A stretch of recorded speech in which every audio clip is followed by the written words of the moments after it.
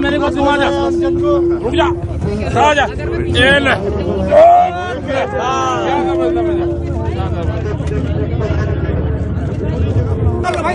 देखो आज का जो आंदोलन था ये सब जगह सक्सेसफुल रहा और बहुत शांतिपूर्ण तरीके से रहा। जो लोग हमारे 11 आदमी यहाँ पे 12 आदमी बैठे और उनका बड़ा तपस्या रही। एक सरकार को एक मैसेज गया। सरकार हमारी बात सुने। कोई हम भी सरकार का और नहीं है कि हम पूर्ण रूप से वो आ रहे हैं यहाँ पे। सरकारों को बात सुननी पड़ेगी। वे आज सुन लें, वे दस दिन में सुन लें। हम बात से इसका समाधान चाहते हैं। ठीक है? किसान वापसी नहीं जाना यहाँ से। सरकार आज सुन ले या दस दिन में सुन ले। अगले की जो रणनीति होगी वो कल के बाद में होगी। और इस आंदोलन को पूर्ण रूप से शांतिपूर्ण तरीके से सब लोग इसको चलाएँ। आंदोलन को।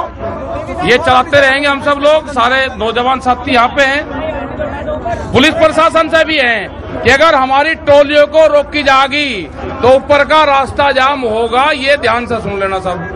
हमें यहाँ पे कुछ कहेंगे तो हम गाँवों में, थानों में पशु बंधेंगे। जिस तरह से हमारे लोगों का हरेसमेंट करा जा रहा, पुलिस भेजी जा रही है, क्या पंजाब और हरियाणा के लोगों को कोई रोक रहा है वहाँ पे? जब वे अपने आंदोलन स्थल तक आ रहे हैं तो हमको भी यहाँ पे आते जाते रहना चाहिए।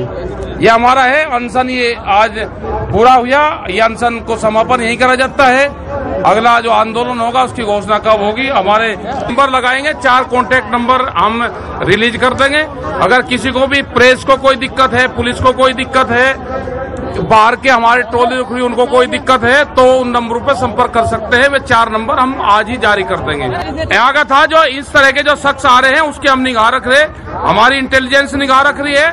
और हम चाहेंगे कि इंटेलिजेंस भी सक्रिय रहे।